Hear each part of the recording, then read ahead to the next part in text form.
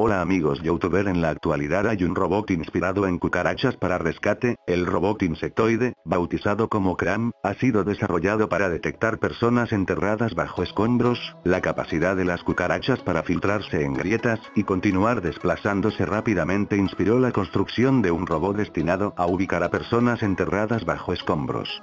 Lo impresionante en la cucarachas es la capacidad de correr tan rápidamente en un espacio de solo 0,8 centímetros como en otro de 1,6, reorientando por completo sus patas a un lado de su cuerpo, explicó Kausik Hayaram, uno de los principales autores de este estudio, publicado por los registros de la Academia de Ciencias de Estados Unidos. En un espacio libre, estos insectos, que miden alrededor de 3,7 centímetros de altura, cuando se desplazan pueden disminuir las dimensiones de su cuerpo hasta hasta un cuarto de centímetro, señala este experto, que dijo haber recurrido a cámaras ultra rápidas para observarlos. Hace 25 años ya se había descubierto que las cucarachas americanas podían correr en dos patas a 1,5 metros, 50 veces el largo de su cuerpo, por segundo. Los científicos observaron igualmente que estos insectos pueden soportar una fuerza equivalente a 900 veces su peso sin sufrir heridas. Inspirándose en las técnicas de las cucarachas, los investigadores idearon un pequeño robot, simple y barato, que cabe en la palma de una mano.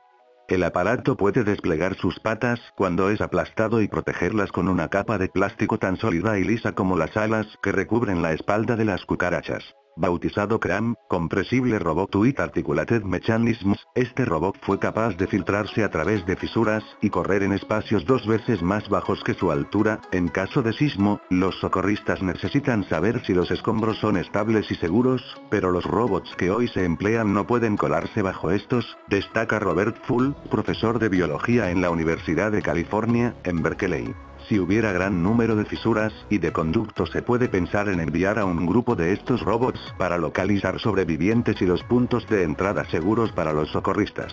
Se trata únicamente de un prototipo que demuestra la viabilidad de construir robots más eficaces inspirados de insectos dotados de exoesqueletos. Los insectos son los animales más capaces de sobrevivir, ya que pueden acceder prácticamente a cualquier lugar, y debemos inspirarnos de ellos para fabricar aparatos que reproduzcan sus facultades. La gente puede haber experimentado que, si pisa una cucaracha, es posible que tengas que molerla un poco más, de lo contrario la cucaracha aún puede sobrevivir y escapar.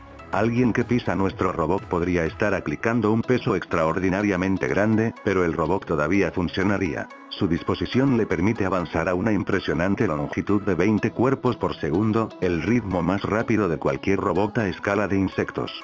También puede subir pendientes, transportar pequeñas cargas útiles, y aunque pesa menos de una décima parte de un gramo, puede soportar un peso aplastante de aproximadamente 60 kilogramos. La mayoría de los robots a esta pequeña escala en particular son muy frágiles.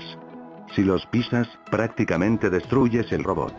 Descubrimos que si le aplicamos peso a nuestro robot, aún funciona si te gustó el video suscríbete al canal y deja tus comentarios.